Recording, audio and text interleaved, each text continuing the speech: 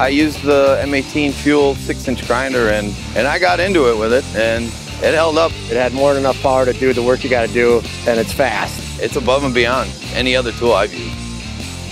When I first grabbed the grinder, I found that it had uh, plenty of power. It's got torque.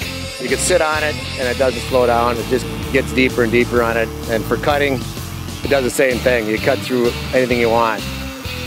The rapid stop brake is nice because when you do shut the tool off, the wheel isn't spinning, so it's a lot safer. It stops sooner so I can put it down sooner than I normally would with the regular corded grinder.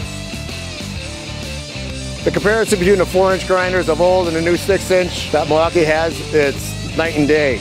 You can cut through thicker material, and sometimes that's absolutely necessary. REDLITHIUM high output batteries have a ton of power, they last all day, and you don't have to keep switching them out. It's nice to have that one battery that can power all the tools that I need.